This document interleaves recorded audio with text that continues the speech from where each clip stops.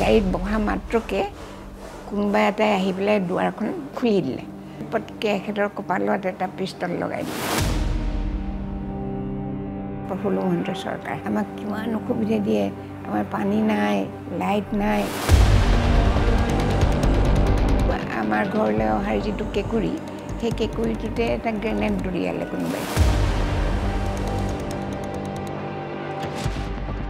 আলফা বুলি ক'লে পৰেশ বৰুৱা বুলি ক'লে মোৰ যেন মনলৈ অকল যেন সিহঁতি পিষ্টল লৈয়ে থাকে মানুহেই মাৰি থাকে সেইটো অপব্যৱহাৰ কৰিছে নেকি? একেবাৰে কৰা নাই। তেওঁলোকৰ বৰ অহংকাৰ হৈ যায়। ইমানেই অহংকাৰ হৈ যায় কথা বতৰাবিলাকো আৰু কোনো বয়সক মানে ৰেচপেক্ট নকৰে। এখেতেও নোৱাৰিছিলে তৰুণ গগৈও নোৱাৰিছিলে। আৰু হিমন্তইওনো কেনেকৈ পাৰিব?